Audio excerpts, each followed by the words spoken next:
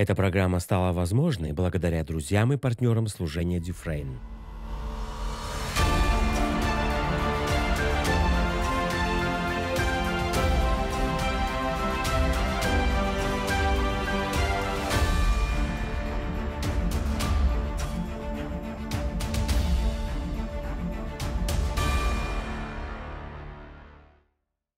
Мы поклоняемся Тебе, Отец. Мы поклоняемся Тебе. Мы прославляем Тебя. Мы прославляем Тебя. Мы возвеличиваем Тебя. Мы возвеличиваем Тебя. У кого-то, и вам не нужно выходить, просто оставайтесь на месте. У кого-то бедра смещены, с ними какая-то проблема. Если это вы, поднимите руку. Прямо на месте. Таких несколько человек. Просто примите силу прямо на месте. Прострите руки и скажите, я принимаю эту силу. Я принимаю свое здоровье. Аллилуйя! Аллилуйя! Аллилуйя! У кого-то сейчас исцеляются колени. Если вам было трудно сгибать и разгибать колени, прямо на месте подвигайте ими. Мы не проверяем, сработало ли. Мы действуем в помазании. Мы действуем в помазании.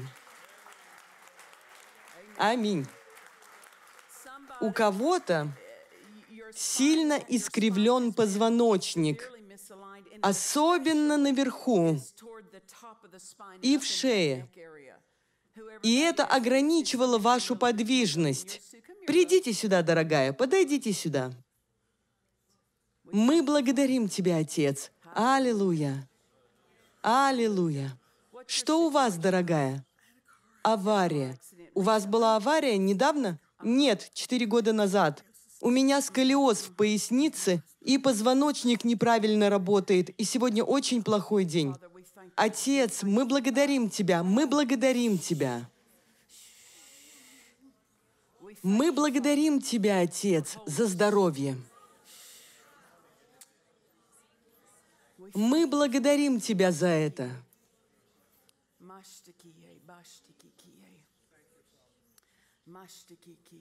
Мы благодарим Тебя, Отец. У кого еще верх позвоночника, шея? Покрутите шеей, действуйте в помазании. Прямо на месте скажите, я принимаю это, я принимаю это.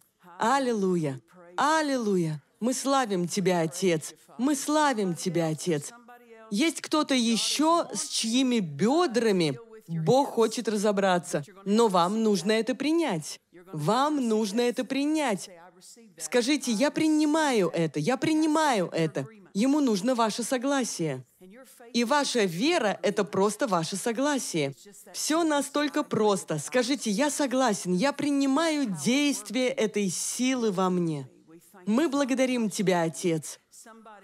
У кого-то одно плечо ниже другого. Поднимите руку и примите силу исцеления прямо там, где вы есть. Она действует в вас прямо сейчас. Примите ее там, где вы есть. Там, где вы есть. Аллилуйя.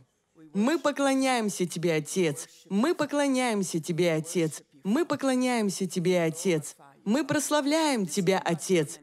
Просто постойте там минуточку, дорогая. Пусть сила Божья действует в вас. Пусть она просто действует в вас. Мы благодарим Тебя, Отец. Я верю в силу Божью, а вы? Спасибо, Отец. Спасибо, Отец. У кого-то боль идет от бедра и по тыльной стороне ноги до самого низа. У кого это? Это исцеляется прямо сейчас. Просто поднимите руку и скажите «Я принимаю, я принимаю». Своими устами скажите «Я принимаю эту силу, я принимаю эту силу». Аллилуйя. Прямо на месте делайте то, чего не могли делать. Помню, так много раз на собраниях папы Хеггена он подходил к сектору инвалидных колясок, служил этим людям, говорил им что-то, и кто-то из них вставал и шел. Вначале они шли медленно или с чьей-то помощью. И помню, он подошел к одному и сказал, Чем больше вы будете ходить, тем больше вы сможете ходить. Чем больше вы будете ходить, тем больше вы сможете ходить. Аминь. Так что действуйте, и сила Божья выйдет навстречу вашему акту веры. Аминь. Аллилуйя. Дорогая, подойдите сюда.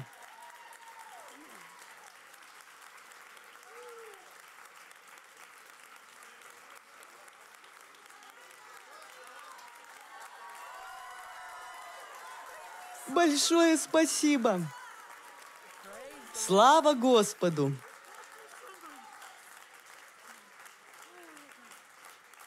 Вы теперь вышли сюда немного по-другому. Расскажите мне, что происходит.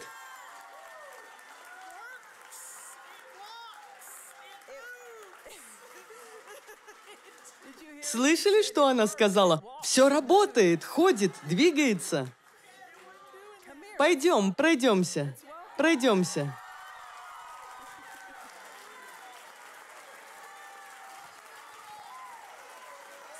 Раньше вам было сложно это делать? Да, очень. Я уже чуть не ушла домой. Есть микрофон? Какой-то радиомикрофон. Мы хотим, чтобы люди услышали, какой Иисус чудесный. Спасибо. Спасибо. Расскажите, вы говорили об аварии четыре года назад. Я попала в аварию четыре года назад. Машина перевернулась четыре раза, подлетела на 10 метров в воздух, и все думали, что я погибла. У меня была сломана грудная кость, спина, правое бедро, и с тех пор у меня была сильная боль по всему телу. У вас были операции? Операции, физиотерапия и многое другое. И ничего не помогало. И с тех пор, как я стала сюда ходить, начало становиться лучше. Как долго вы посещаете эту церковь? Чуть больше двух месяцев. Слава Господу!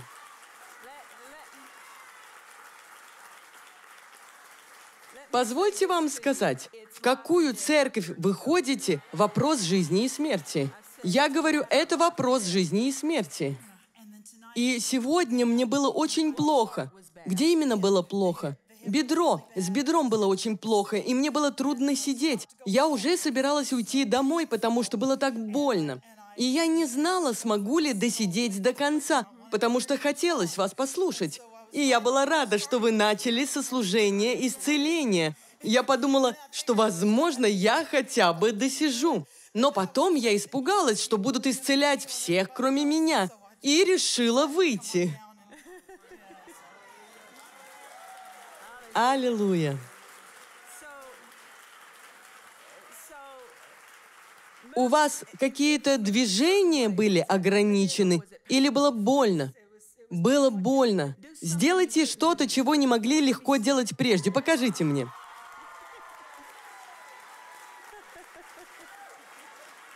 Не грациозно, но это лучшее, на что я способна.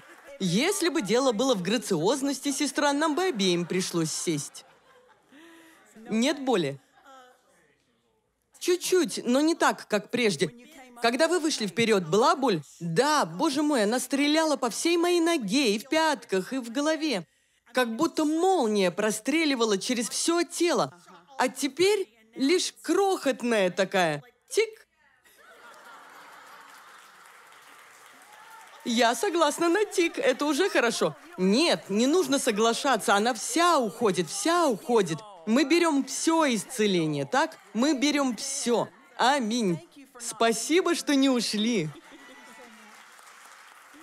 Бог да благословит вас. Откройте со мной, пожалуйста, 1 Коринфянам вторую главу. 1 Коринфянам 2.4. Павел пишет – 1 Коринфянам 2.4. «И слово мое, и проповедь моя не в убедительных словах человеческой мудрости, но слово мое и проповедь моя в явлении Духа и в явлении силы». Пятый стих. «Чтобы вера ваша утверждалась не на мудрости человеческой, но на силе Божьей». Аминь. Я верю в силу Божью. Как насчет вас? Я верю в силу Божью. Я не знаю, сколько из вас слышали какие-то свидетельства папы Хегена об исцелении,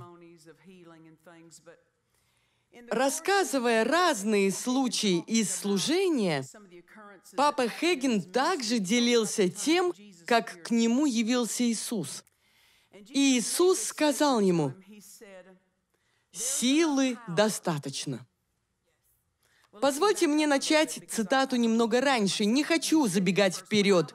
Сначала Иисус сказал, «Когда я был на земле, я был силой Божьей». Подумайте об этом. Прежде сила Божья была сокрыта во святом святых, и у общества не было к ней доступа. Раз в году один человек, первосвященник, мог зайти во святое святых от имени народа. И нужно было заходить очень трезво, проверяя свою праведность, потому что к ноге привязывали веревку. Войдя в силу Божью с грехом, человек падал, и его просто вытаскивали. Не рады ли вы, что сегодня не такой подход к силе Божьей? Итак, у людей не было доступа к силе Божьей. Она не присутствовала. Мы живем в то время, когда на земле присутствует Дух Святой, но Он не всегда присутствовал на земле. И вот Иисус пришел на землю.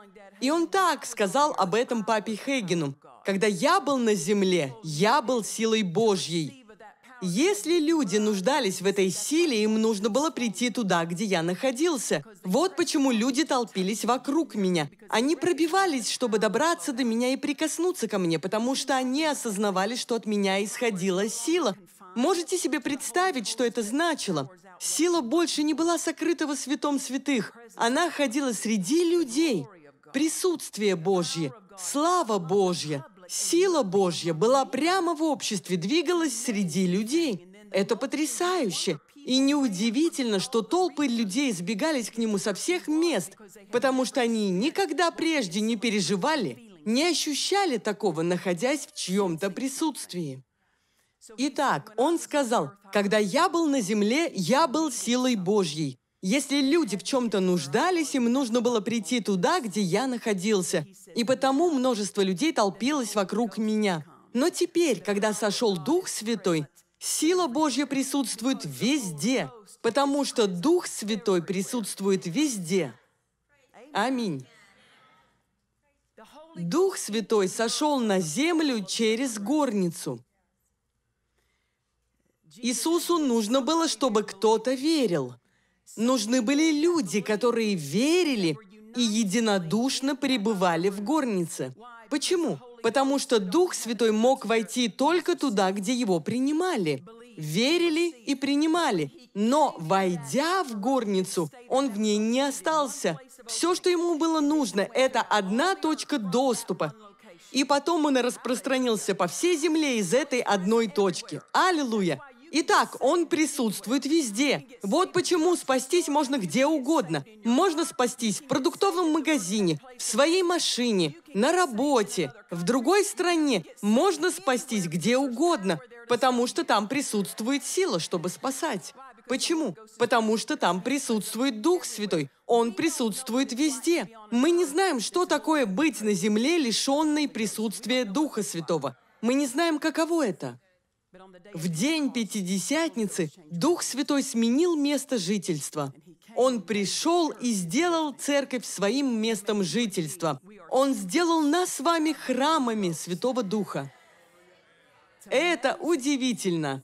Та же сила, которая была сокрыта во святом святых, теперь в вас.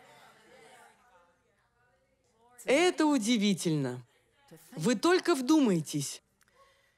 Итак, Иисус сказал папе Хейгену, но теперь, когда Дух Святой присутствует везде, сила присутствует везде. Позвольте Пояснить. Это значит, что есть сила у вас дома. Есть сила у вас на работе. Есть сила у вас в машине. И надо же, есть сила у вас на кухне. Сила есть везде. Это удивительно. То есть вам не нужно дожидаться, пока вы придете в церковь, чтобы получить помощь. Слава Богу, что мы можем прийти сюда за помощью. Здесь ее легче получить благодаря общей вере. Но научитесь получать прямо там, где вы находитесь. Научитесь, когда появляется нужда, получать и черпать эту силу, которая уже присутствует. Именно так многие упускают помощь. Они молятся, чтобы Бог послал ее, а Он ждет, чтобы они активировали ту силу, которая уже присутствует. Что ее активирует? Вера. Вера. Чтобы вера ваша утверждалась не на мудрости человеческой, но на силе Божьей, которая уже присутствует. Не нужно добиваться, чтобы Бог послал ее. Нужно активировать силу, сотрудничать с силой, которая уже присутствует. Во время того посещения Иисус далее сказал папе Хейгену, в каждой комнате и больничной палате достаточно силы, чтобы исцелить больного. Задумайтесь об этом. Иисус сказал это. В каждой комнате и больничной палате достаточно силы, чтобы исцелить больного.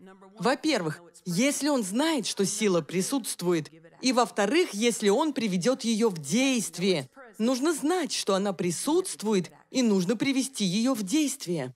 Аллилуйя! Как-то я была дома, зазвонил мобильный, я взяла его. Не знаю, как вы, но я беру телефон и смотрю, кто звонит. И видя, что это Кеннет Копленд, кто-то еще повел бы себя так же? Я каждый раз немного теряюсь, потому что моего папу звали Кеннет Чепман. И я вижу Кеннет, и только потом осознаю, нет, он на небе. Значит, это Кеннет Копланд. Я приняла звонок и сказала, «Брат Копланд, вы только что вернулись из Перу. Как прошли собрания?»